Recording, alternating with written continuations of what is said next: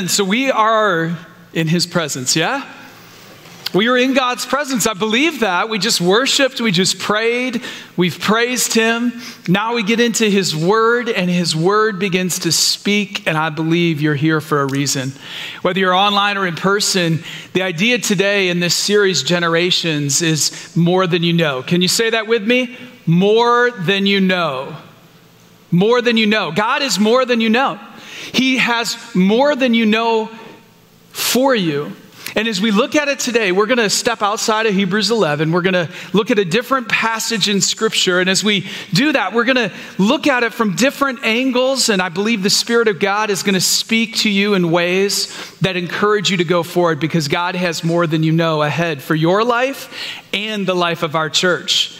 Now, uh, when we get into this idea of Father's Day, you know, for some of us, it's a great thing. For others of us, it's a painful thing. And in all of that, you need to know that we have a heavenly Father who is more than you know, always able, always available, worthy of our worship, able to be trusted. Can I get an amen? Anybody who can attest to this? I mean, this is who He is and what He has for us. And I'm blessed that I get to be a dad. I am in my 22nd year of marriage to my wife, Cindy. Here's a family picture. Uh, this is from Mother's Day, actually. And uh, can you tell I'm a proud husband and father? Come on, y'all. That's my family. Within there, you have ages 10 to 19, two 10 year olds. No, they're not twins. And uh, we love our children dearly. And actually, it was the 10 year olds yesterday uh, that had uh, just this funny moment with dad where they're like, hey, when you use some of our words and language, dad, it's, it's cringy. Like, if you say the word cringy, that's actually cringy. I was like, oh, we're at that point. You see, I went through that phase with the older two, but now I'm going through that phase with the younger two. So it's a ton of fun, and it is such a gift to be able to do that. As I uh, reflect on some of my childhood, there was a couple of movie franchises that meant a lot to me that I just absolutely enjoyed. Here's a picture of two of those main characters, right? Darth Vader and Superman. You have Star Wars and obviously the Superman franchise. And when you think about those two characters, uh, no, they were not in a movie together. Don't Google it. That's just clever editing. And, uh, and yet, there actually is a true story, believe it or not, that the actors, the original actors, David Prowse, who played Darth Vader, was a bodybuilder, and then Christopher Reeves was, uh, he was chosen to be Superman, but he was so skinny that they came to David Prowse, the, the Darth Vader actor, and said, Hey, would you be willing to train him and pour into him and help him put on some weight because we know he can't fill out the Superman suit? True story. I looked it up, and he actually helped him over a few month period, put on about 42 pounds, went from 170 to like 212. And so uh, he was able to play Superman. Wouldn't you have loved to have been in that gym? You know, to see Darth Vader and Superman training together, like how crazy is that? And, uh, and yet, when you think about these franchises, I believe that part of why they were so powerful is both were dealing with the issue of dad. Think about it for a minute. Darth Vader, spoiler alert, right? It's been a few years. I think I can get away with this. I think most of you know. His son was Luke, the protagonist and real hero of Star Wars. It was this battle of good versus evil where uh, Darth Vader had chosen the dark side and Luke would choose the good. And, and so there was this constant saga and story unfolding between dad and son. And then Superman, right, released to earth to save humanity from his father and mother. He, he ends up being raised for a period of time by an earthly father until he begins to recognize some of the powers. And then, as his earthly father uh, passes, he actually is then left in a bit of an identity crisis through many of the original movies, figuring out who he is and, and how do I show up. And, and, and neither of them realizing, you know, like maybe for us, that there's something inherent in our stories that are meant to connect to an earthly father and where possible to, uh, I'm sorry, to a heavenly father and where possible to an earthly father. There's actually a story in the Bible that speaks to the heart of the Father and illustrates more than you know, right? This idea that we're looking at today. We're going to go to Luke 15 if you want to turn there with me. And it's actually in Luke 15 that we see one of the most famous stories, not just in the Bible, but in all of literature. The prodigal son is what this is known as. And I just want to let you know that there's more than one prodigal in this story.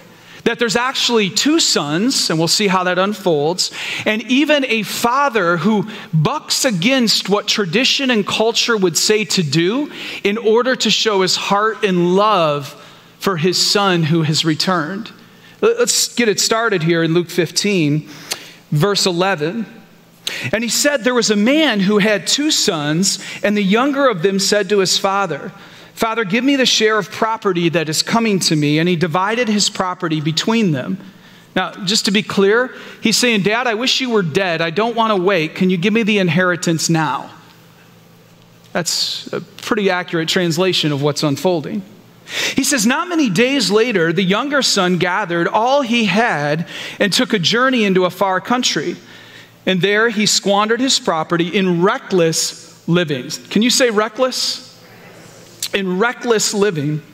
And when he had spent everything, a severe famine arose in that country, and he began to be in need. So he went and hired himself out to one of the citizens of that country, who sent him into his fields to feed pigs. And he was longing to be fed with the pods that the pigs ate, and no one gave him anything. Can you imagine? He left everything in his own reckless living. He's now disillusioned, disheartened, and beginning to even eat pig's food because it's all that it's available. There's a longing inside each of us that's God sized. It's the Heavenly Father sized. And often when we begin to get away from that, we make choices or we're the recipient of other people's choices that then affect how we're living. Verse 17, notice what happens next. But when he came to himself, he said, How many of my father's hired servants have more than enough bread? But I perish here with hunger. He began to wake up. He began to realize that, that actually, maybe there's more than you know that God, the Father, his Father, would provide for him. He began to wonder what could happen. As we think about this, as I said, we want to look at it from a number of different angles today. And one of those is actually the story of Pastor Randy, our worship pastor. Some of you have heard parts of his story, some of you haven't heard any of it. Most of you have never heard what's unfolded in the last year. There are things in his story that when you think about where he was at in life and, and the things that had happened around him, that you would go, I don't know if there's any more for that guy. And yet, you and I get to stand and receive from Him every week because God can do more than you know when the Heavenly Father's love begins to fill our hearts. Amen? So, Pastor Randy, if you'd come out and join me, he is going to sit with me in a God at work moment. I'm running wingman now, he's running point. And uh, as he shares this, uh, I just invite you to sit back and to really receive what I believe God wants to share through his story because he's a husband, a father, and a grandfather that in many ways, it's only by God's grace and the Heavenly Father's love that he's able to do this. So, can we give him a hand? And because and because I'm a grandpa, I need to put these on, or I can't or I can't see. But I also just want to say before I start, um, this is what I'm what I'm going to share is not to compare what I've walked through to anybody else in this room or anybody else who's watching online. This is my story. This is unique to me, and it just outlines the fact that our God is a redeemer and He can redeem anything. Amen. And uh, yeah, but also that um, I wrote it for two reasons. Uh, one was because as I prepared it, it came out exactly the way I think God wanted me to share it. But then also because I realized this morning and earlier today, uh, it was more difficult than I thought to share it. Uh, so I'm going to lean into the to what I wrote so that I don't mess it up. so here goes. Uh, this is a story about fathers. My story is an example of God providing His best plan for us regardless of our circumstances. I look back and realize at every turn, God provided a father or a father figure in my life. If we all were to reflect on our, on our stories, we can usually identify those fathers God provided along the way. I'm relentlessly following by faith because Jesus has been so faithful to me. I was adopted in Oklahoma City at 10 days old. Oh, there's Pastor Randy. I was adopted and I brought and I and brought into a loving family with one older brother. There it is. The Brady Bunch called and want their hairdos back. That's my older brother on the far, wait, to be your far left, yeah. My mom was an incredible, generous, and compassionate person. She went to be with Jesus just last year, and we all miss her terribly. And as much faith whew, she instilled in me, this is a testimony about how the fathers in my life ha- both had faith in me and gave me the faith I needed to trust the Lord through an uncommon life. From the earliest, from my earliest memories, dad was a huge influence in my life. Most of my childhood, he was a music professor at Anderson College, and early on, my love and passion for inspiring music began and has only grown throughout my life. There he is with my brother and I. That was my brother's graduation. I think that's 1989. In many ways, Dad was the reason I ended up following the Lord's calling into music ministry. Through his passion for inspiring and spiritually uplifting music, he gifted me with a love for sacred, God honoring music that over time drew me close to God. My parents divorced in 1984. I was 13. And at the time, my youth pastor, his name was Randy Bargerstock, became a surrogate father to me. My dad struggled with PTSD from the Vietnam War. That was a trip to Washington we made. He's standing in front of the Vietnam memorial there. He was unable to be a healthy presence in my life. Randy was the reason, uh, my youth pastor, Randy, was the reason I didn't abandon God altogether. And he was a positive and guiding presence in my life as I sorted through my brokenness. In 1991, my mom got remarried, so I gained a stepfather, Mort Krim. There they are together. I was already an adult, so while my relationship with him was great, it was long distance. Mort taught me about responsibility, about generosity, and how to think deeply and to defend my beliefs and my faith. That next year, my dad nearly succumbed to bacterial meningitis, leaving him uncommunicative and a shell of the man he had become. He was transferred from one long term care facility to another for about seven years until he passed away the day after Christmas in 1998. I was 28 years old. This Christmas, he'll have been gone for 25 years. Thankfully, before dad had gotten very sick,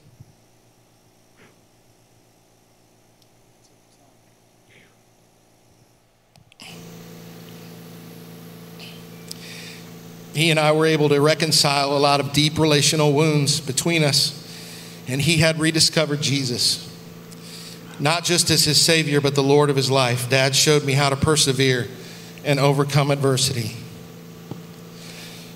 Jamie and I had only been married for four years when Dad passed, and I, I had developed a great relationship with my father in law, J.C. Campbell. There's J.C. Awesome, awesome. Everybody in Lexington, Ohio knew J.C. Campbell. He was kind, fun loving, and brought joy to our lives. And he passed away in 2014. Hmm. I also have a special relationship currently with my mother in law's husband, Dean Poor. There, there we are. We have a good time together.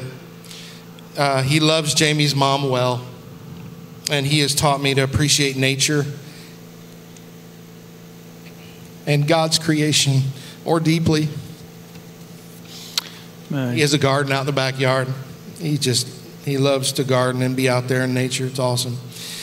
So at this point, I want to make sure to recognize the best person I've ever met, my wife Jamie. Without her constant love and support, I would not be here today, and I and not be the man God created me to be. She has loved me and been by my side despite the crazy baggage that I brought into our marriage and relationship.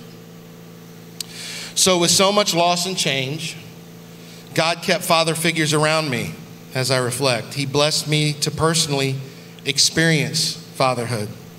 As Jamie and I welcomed three children into our lives between 1994 and 1999. Yeah! there they are. And that's why I'm gray. I became a- a father, and it has beautifully changed me forever. I think we were at an apple orchard or something on that one. Zach, Emma, and Riley showed me a new capacity and facet of love I had not yet experienced. And because I had been adopted, huh, for the first time I was seeing my likeness in other human beings, my children. Up to that point, I hadn't seen myself in anyone else. As their father, loving, protecting, providing for, and being present and available for my children were goals I felt both a responsibility and compulsion to fulfill. It is a privilege and blessing to be their dad. On May 6th, 2021, I became a grandfather.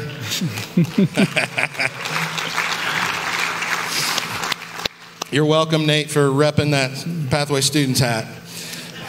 And today I have two granddaughters with a grandson on the way in July. Yeah, Grand, grandparents are like, yeah. I love being a grandfather. There are no words for how special it is to have grands. There they are Madeline Jean and Emery Irene, and Irene was my mom's name, by the way, are life changing blessings. Um, and they love their pops. It causes me to remember my grandfathers, who were both pastors, and how indirectly they were father figures along my journey as well. Strong, resolute, consistent, and devout. Three years ago, I decided to take the search for my biological mom to another level. The adoption agency I was adopted from offered a reunion service for those who wanted to connect with those in their biological bloodline. I started that process during the COVID pandemic with no success in finding my biological mom. One of my kids said, Dad, why don't you look for your biological father? So I did. And not expecting much, I started the search process, and within two weeks, amazingly, the adoption agency had located and contacted my biological father. And he immediately was willing to connect. And that's him.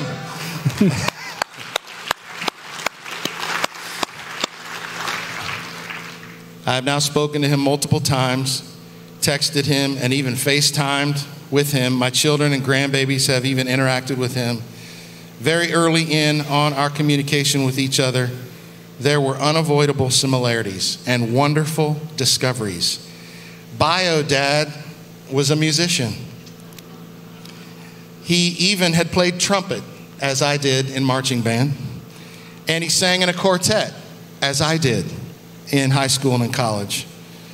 I'm grateful for how, oh, and he has bad knees. and I have terrible knees as well, so we share that. I'm grateful for how genuinely interested he is in seeing where this relationship leads and how kind he has been with Jamie and our children. Finally, then after a long wait, two months ago, just two months ago, I was reunited with my biological mother. And that's her right there.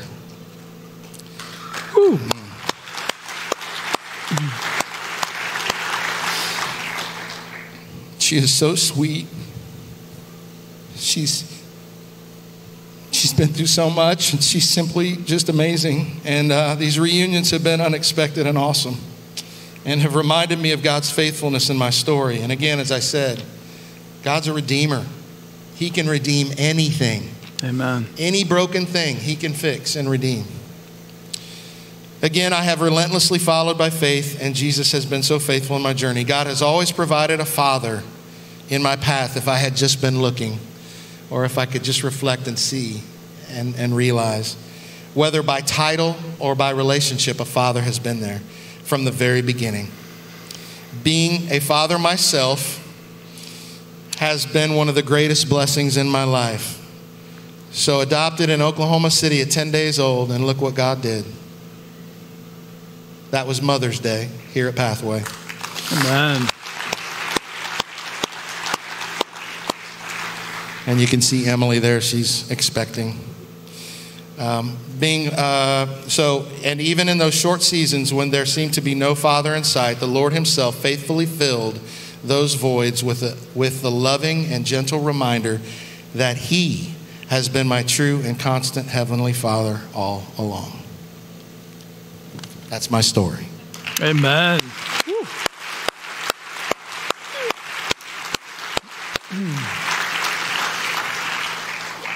So incredible to hear what the Lord can do, isn't it?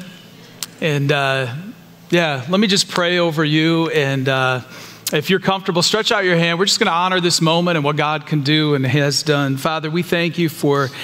Uh, Pastor Randy, thank you, God, for your hand on his life and just the testimony today of how you work through generations, redeeming, restoring, reconciling, even recently, uh, being able to connect in the last year or so with his uh, biological father and mother, God. That is so unexpected, but you can do more than we know.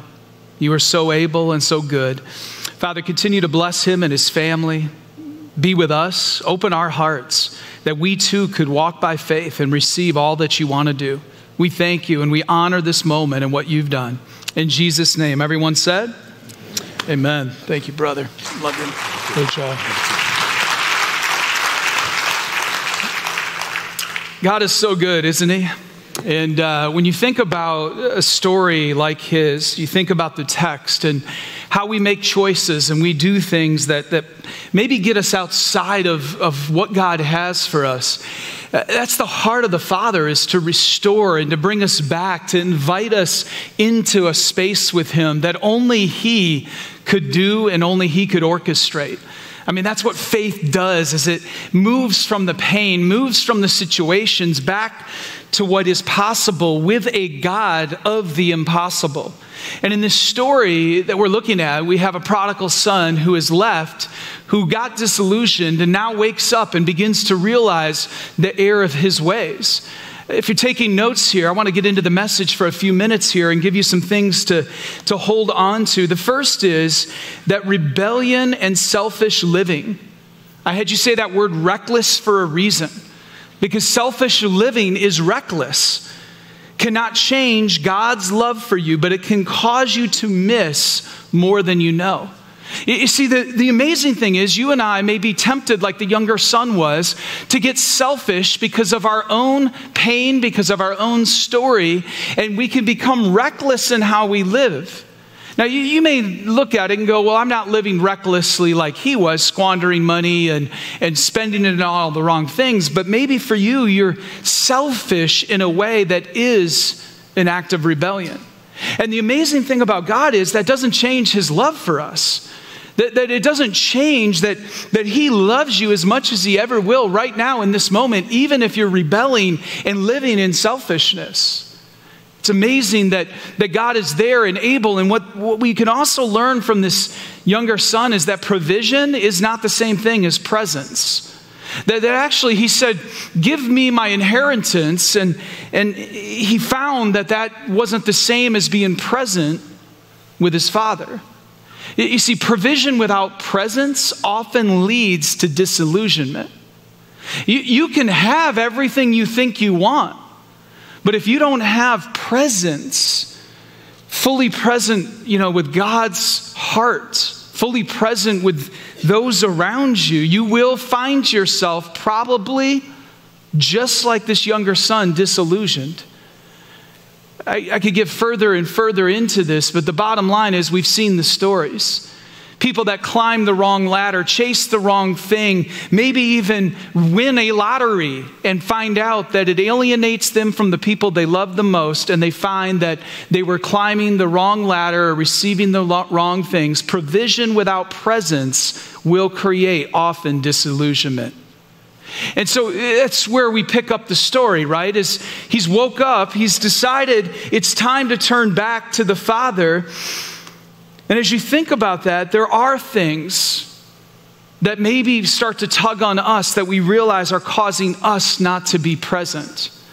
You know, I don't know what it is for you, but I, I, know that for some, you know, you may remember the story Malcolm Gladwell put out a few years ago. It's popularized the idea that 10,000 hours of anything will make you an expert in whatever that is.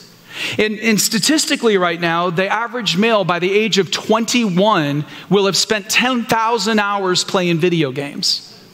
What does that mean?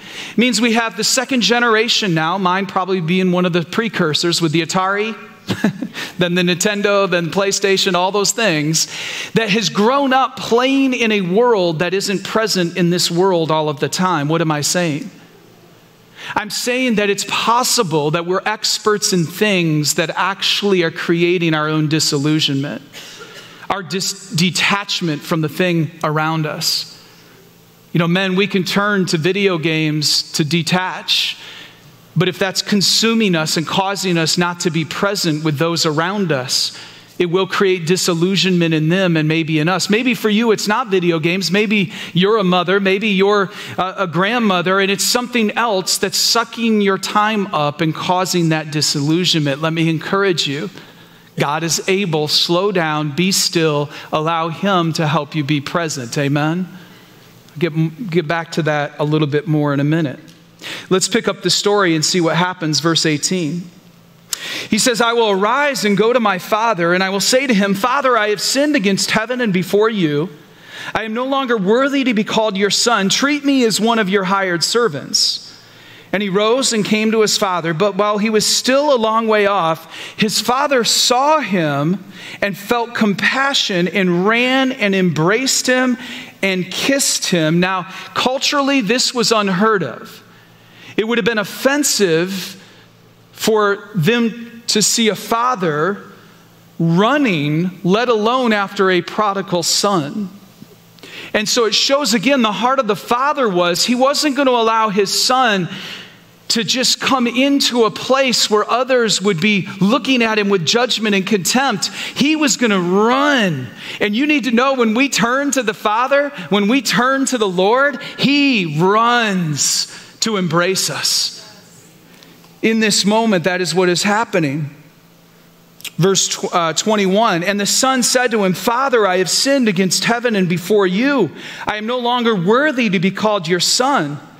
But the father said to his servants, Bring quickly the best robe, put it on him, put a ring on his hand and shoes on his feet, and bring the fattened calf and kill it, and let us eat and celebrate. For this my son was dead and is alive again, for he was lost and is found. And they began to celebrate. And you need to know again, contextually, they were not coming from the town or the family to celebrate the son.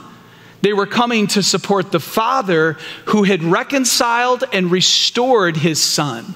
There's a difference. The celebration was about what the father was doing. The celebration was about the heart of this father being lived out in a way that they could all see. That's why scripture, eh, just prior to this story, talks about how God the, comes after the lost, comes after the one, and that all of heaven celebrates when even one turns. God wants to celebrate over our lives when we turn to Him, church. Can I get an amen? Verse 25. Now we see that rebellion isn't just about selfishness, that there was another son, another prodigal, another rebel present. It says, Now his older son was in the field, and as he came and drew near to the house, he heard music and dancing. He called one of the servants and asked what these things meant. And he said to him, Your brother has come, and your father has killed the fattened calf because he has received him back safe and sound. But he was angry and refused to go in. His father came out and entreated him. Can you imagine? His brother is back and he's angry, he's upset. The father comes out to him and he says, Look, these many years, uh, I'm sorry, uh, verse 28, but he was angry and refused to go in. His father came out and entreated him, but he answered his father, Look, these many years I have served you I have never disobeyed your command, yet you never gave me a young goat that I might celebrate with my friends.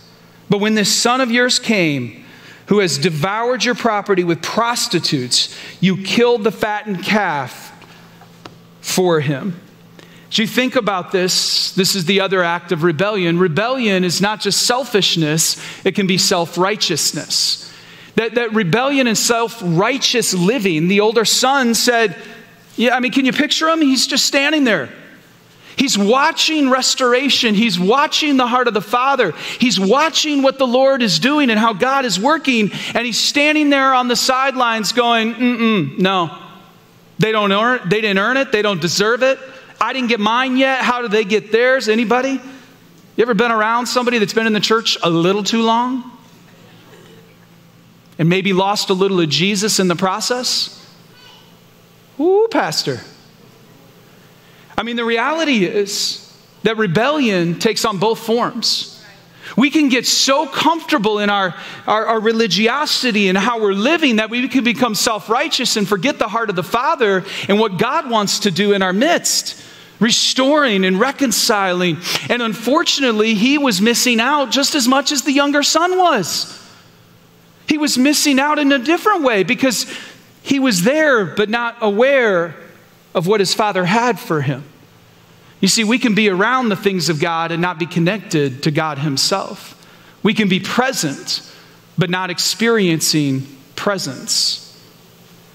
You see, the, the father would go on in a minute to tell him, listen, it was always yours, it was always available. I'm right here. If you have me, you have everything you need. All you had to do was ask.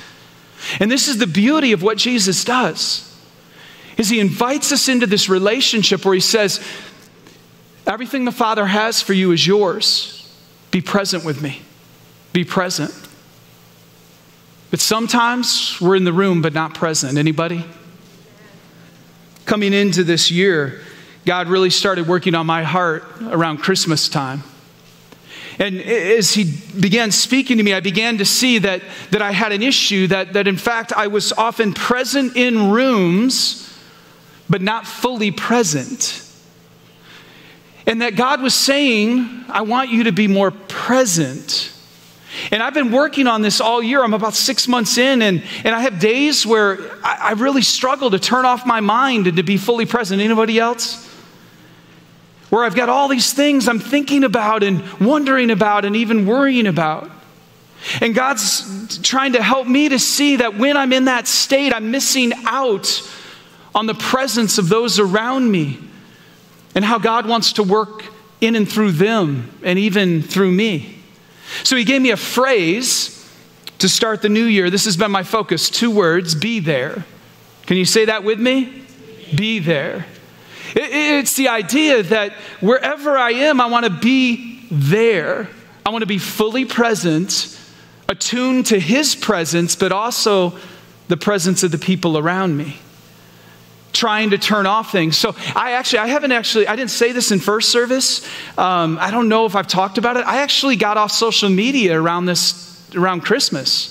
Like if some of you are message, I had somebody the other day like, hey, you didn't accept my friend request. I'm like, um, sorry? I've been on there since before Christmas.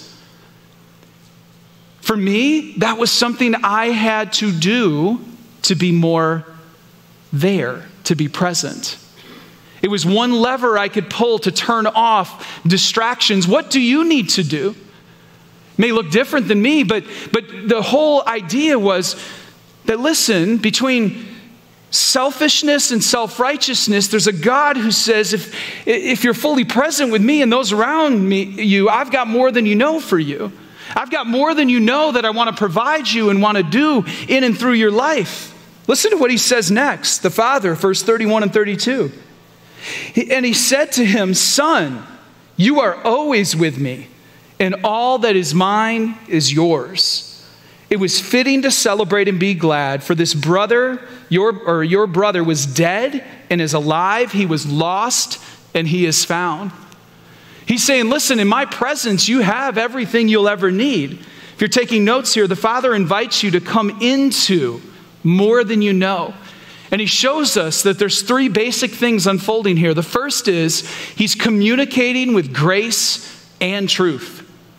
He's communicating to the older son, and he's also done it with the younger son with grace that says, Yeah, you screwed up. You, don't, you didn't earn it. You don't deserve it. That's what grace is it's God's unmerited favor.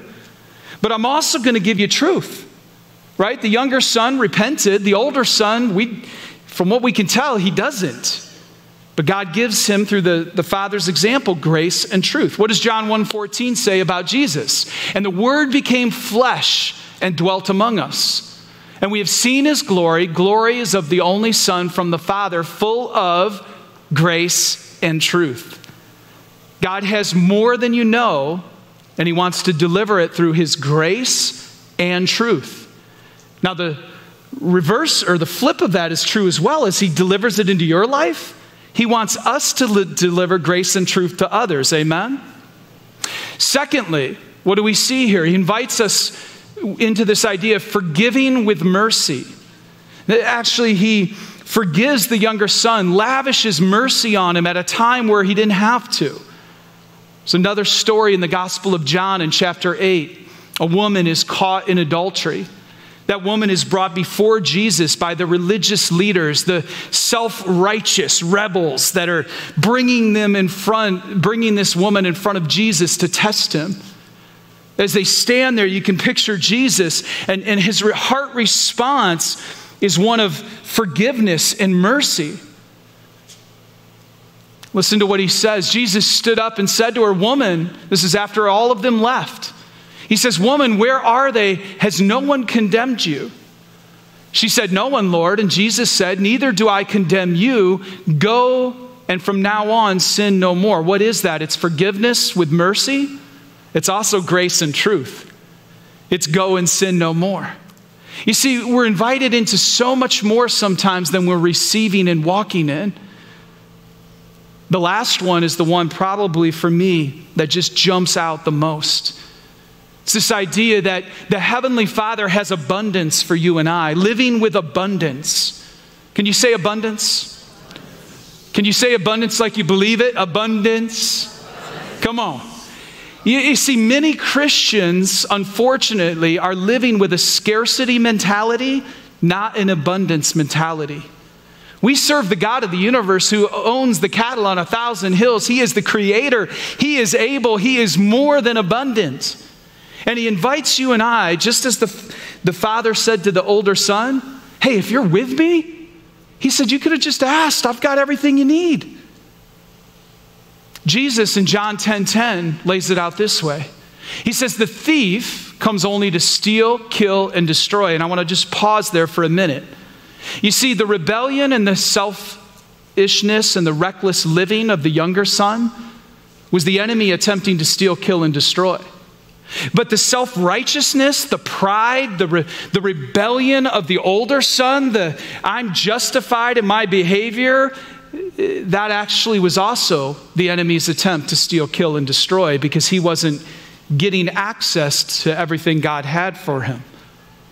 Are you tracking? But look at what Jesus says. He says, I came that they might have life and have it abundantly. That, that you and I actually, when we walk in a relationship with Jesus, can experience abundant life. When the younger son turned back to the father, he lavished abundance on him. That's the heart of our Father. He wants to do, again, more than you know. He wants to do more than we can even hope or imagine, Ephesians 3:20 says. So there's things in life that God may expose in moments like this that we have to let go of. Maybe it's our selfishness, maybe it's our self righteousness, maybe it's something in between. C.S. Lewis said this There are far, far better things ahead than any we leave behind. Again, not a scarcity mentality, but an abundance. That if the Heavenly Father is inviting you back, inviting you into a relationship with Him, whatever He says to let go of, whatever He exposes is for your good, His glory, and is going to work out far better than anything you're going to do on your own. Church, there's an invitation to call on Jesus, to call on your Heavenly Father. My guess is, like you, it's a phone call that sometimes we know we need to make but we don't necessarily want to make. I mentioned earlier in this service that my earthly father is in the room. I'm so thankful for my dad and who he is and how he shows up. There was a moment in childhood where I had really, in many ways, gone down the path of the younger son.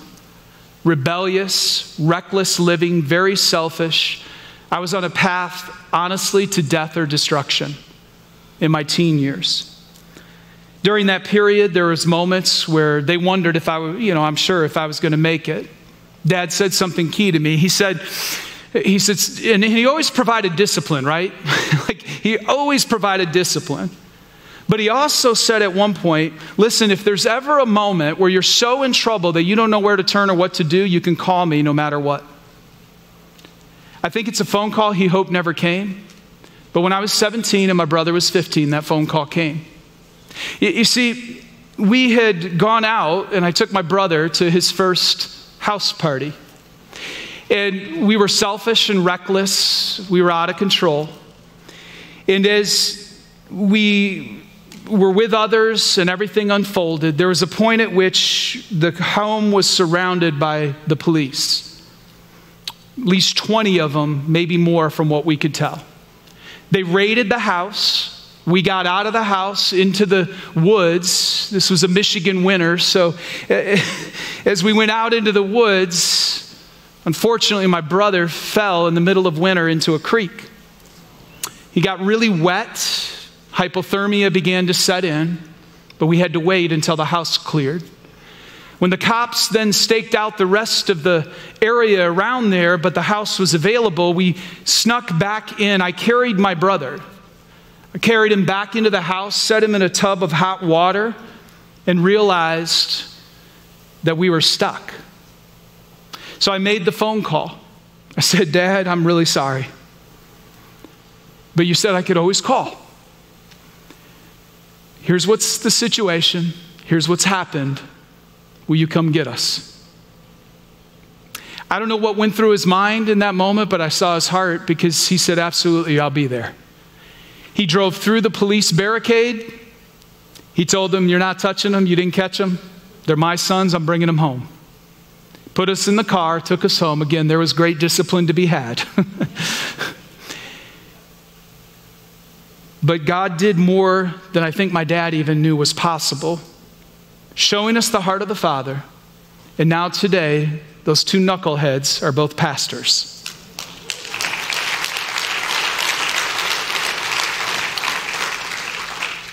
What does God want you to do today? What call do you need to make to Him to say, God, forgive me? God, I'm turning to you. Because just like He drove through anything to get to us, your Heavenly Father is ready to rush in to your reality. I have one question for you today, one next step question, that is it.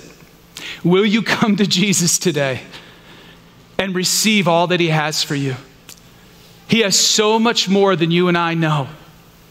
And I believe He's there with arms wide open, whether we're the younger son, the older son, or something in between, saying, Come to me, call on me, I'm here for you. I have so much more I want to do in and through your life.